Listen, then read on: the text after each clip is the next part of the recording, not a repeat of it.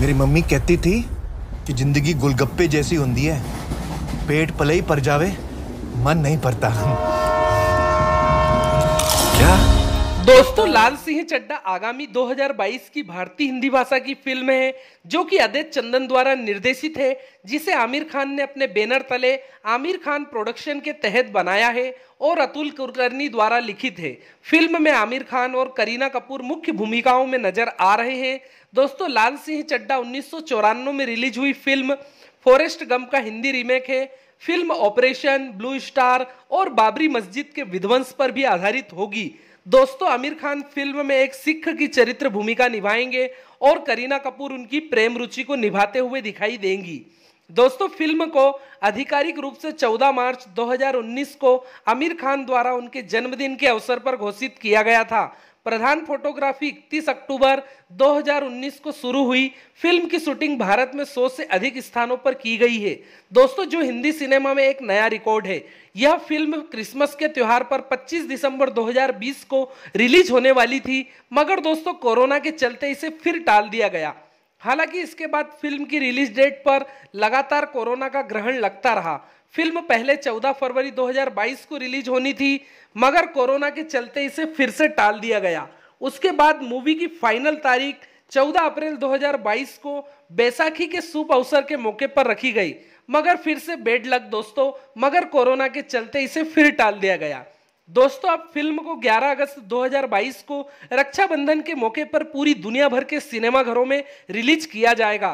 दोस्तों, Aamir Khan productions, Viacom 18 studio और पेरा अमाउंट पिक्चर्स द्वारा निर्मित फ़िल्म लाल सिंह चड्डा इस वक्त चर्चा के केंद्र में है। आदित्य चंदन के निर्देशन में बनी इस कॉमेडी ड्रामा फ़िल्म का ट्रेलर रिलीज़ किया गया था, जिसे दोस्तों ऑडियंस ने काफ़ी पसंद किया। इसमें आमिर खान को देखने के बाद लोग हॉलीवुड अभिनेता टॉम हैक्स की कॉपी बता रहे हैं। दोस्तों, दरअसल Lal Singh Chaddha Hollywood film Forrest Gump की हिंदी रीमेक है। रॉबर्ट जेमेकिस द्वारा निर्देशित इस फ़िल्म की कहानी इसी के नाम के एक उपन्यास पर आधारित है, जिसे विंस्टन ग्रूम ने लिखा है। दोस्तों, फॉरेस्ट गम हॉलीवुड की सबसे सफल फ़िल्मों में से एक है।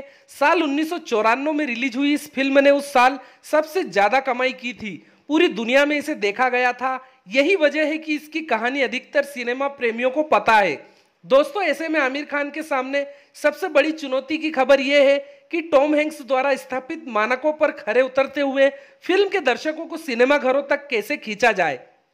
क्योंकि ट्रेलर रिलीज़ होते ही उनकी तुलना टॉम हॉक्स से होने लगी। कई सीन भी हॉलीवुड फ़िल्म से पूरी तरह कॉपी किए गए हैं। दोस्तों, फ़िल्म लाल सिंह चड्डा को दर्शक देखने जाएँगे। इसकी सबसे पहली और बड़ी वजह खुद आमिर खान है, क्योंकि आमिर खान को बॉलीवुड का मिस्टर परफेक्टनिस्ट कहा जाता है। वो अपनी फ़िल्मों में जी जान लगा देते हैं।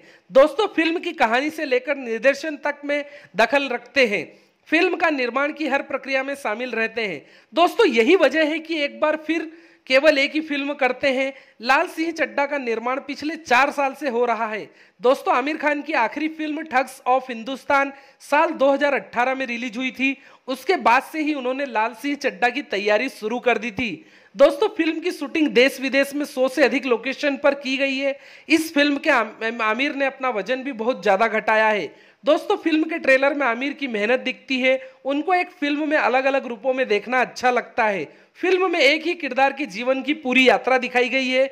इसमें एक बेटे, छात्र, खिलाड़ी, सेना के जवान, प्रेमी पति और पिता के रूप में भी बहुत प्रभावी लगते हैं।